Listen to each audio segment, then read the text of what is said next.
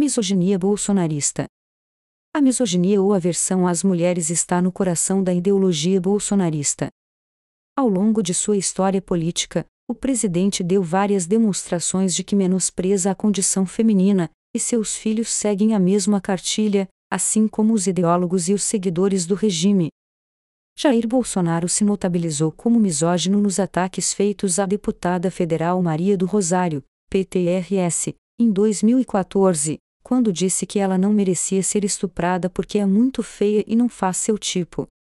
A agressão desmedida lhe rendeu uma retratação pública, uma condenação por danos morais e uma multa de 10 mil reais, sacramentada pelo Supremo Tribunal Federal, STF. Desde então ele vem fazendo vários ataques despropositados contra as mulheres. Em 2019, convidou, por exemplo, homens estrangeiros para virem fazer turismo sexual no Brasil. Quem quiser vir aqui fazer sexo com uma mulher, fique à vontade, disse.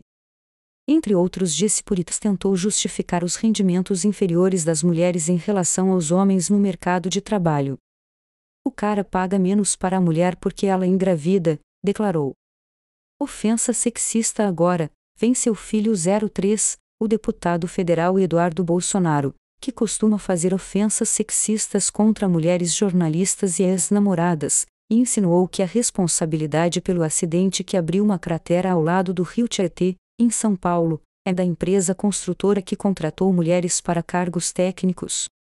Eduardo postou um vídeo no Twitter que associa a cratera com uma entrevista em que diretora da Acciona, responsável pela obra, defende a contratação de mulheres pela empresa.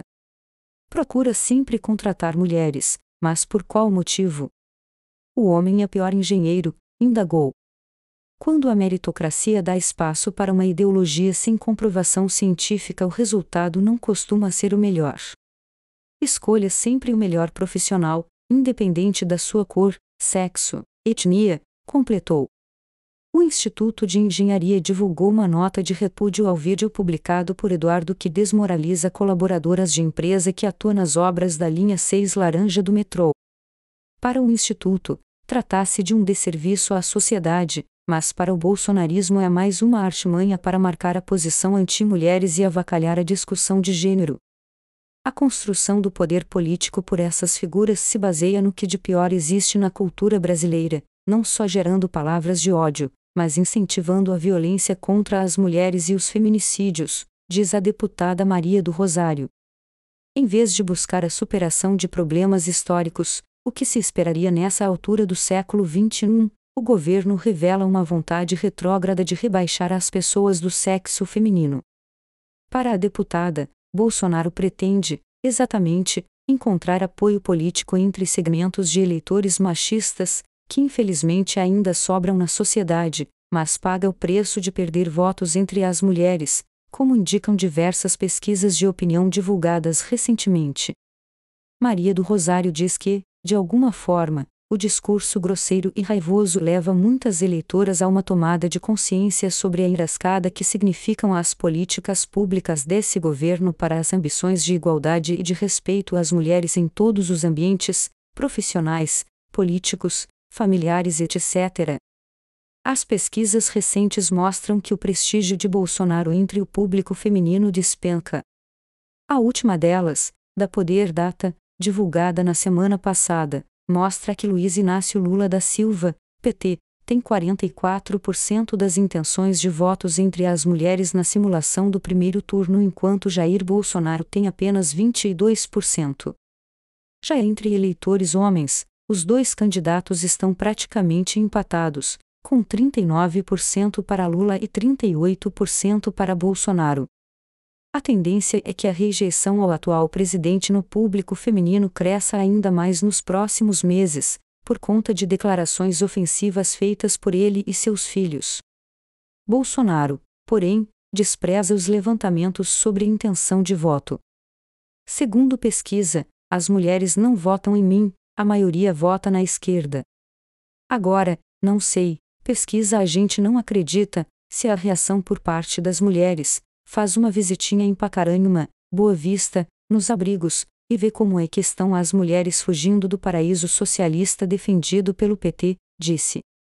A realidade, porém, é que as mulheres já perceberam que esse governo pretende levá-las de volta ao passado e a uma condição submissa, tirando suas possibilidades de emprego, minimizando sua capacidade de atuar politicamente e empoderando homens violentos e intolerantes que rebaixam suas parceiras. Tópicos como fazer um rosário passo a passo. Como rezar rosário completo.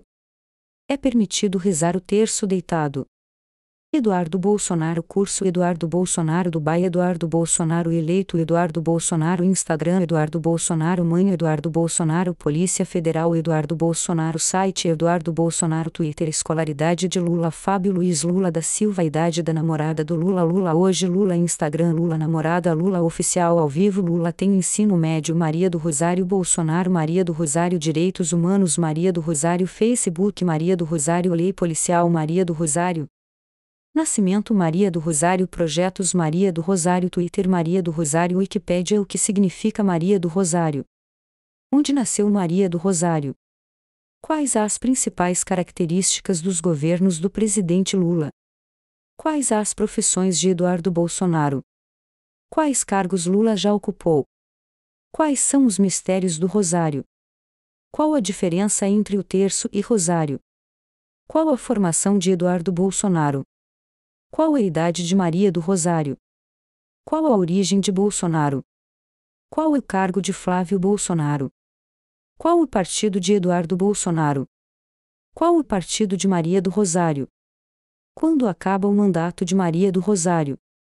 Quando Lula entrou para presidente? Quantas vezes Lula disputou as eleições? Quantos anos tem o Eduardo Bolsonaro? Quantos filhos o Jair Bolsonaro tem? Quantos mandatos de deputado tem Eduardo Bolsonaro? Quantos votos Lula teve na segunda eleição? Quem era o presidente antes de Lula? Quem foram os presidentes do PT?